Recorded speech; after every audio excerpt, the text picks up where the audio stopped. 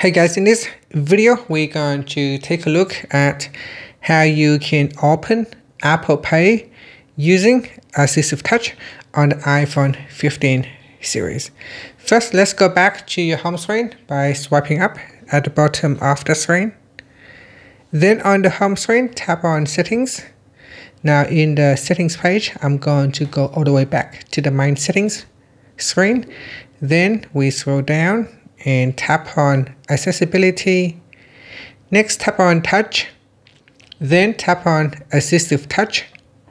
In assistive touch, make sure it is turned on, tap on the toggle button to switch it on, and then you can swipe up to go back to the home screen. Now in here, tap on the assistive touch button, and from the top level menu, tap on device, then tap on more, then tap on Apple Pay button right there. So tap on that and that will open up your Apple payment.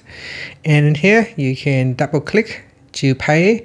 If you don't want to use the double click, you can also set up um, double click as well.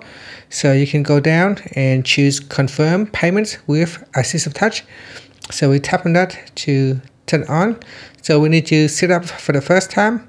After that, then you don't need to double click anymore. So here we can go into device, then more, then Apple Pay.